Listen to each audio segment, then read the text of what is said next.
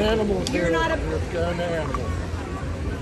we scaring the People are complaining that you're using a bull. The only uh, reason I'm upset is because she ran up on us very, very rude. She didn't tell I'm us nice not. one, so let's just You are being a nice So one. go. She was not nice at all. She didn't tell us not to use a bullhorn. She told us not to be here at all. They work very hard. This is all for charity and all events, so they Well, appreciate it. No, that's But we're here for the environment and for people and for humanity. You could do that out there. We just didn't know that we needed a thing if we weren't selling anything at shelter. Absolutely. You know, she just, if she would have just came over and been like, "Excuse me," you know, She didn't tell us It not to was use a bullhorn. She told us to leave. She She said, was pack up and leave. very- Now, She's but running the bank, so that's what it is. Okay.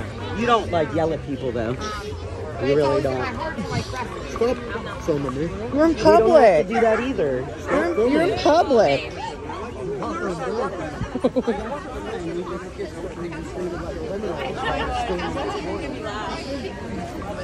They're trying to arrest us. No, please. I work with a lady who has 11 kids. I want that song to show it. Yeah.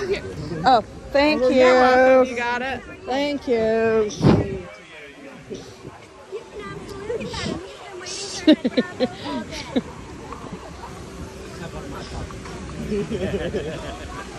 Do you see his shirt? Hey, It's cute. oh, what was it? It was uh, Chihuahua in a uh, pocket. Oh, hey, like ma- this is a good place. This is a good place. Yeah, we grew up on the, on the Christian animal rights. Let's be clear, this is a public, a private event, so mm-hmm. we've asked you to leave nicely. We Yeah. do have police on detail.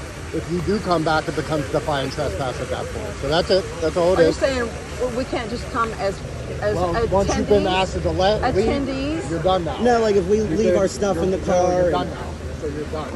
Okay. So goodbye. Don't So have right here's okay. don't don't have any children. Don't don't have children. Okay.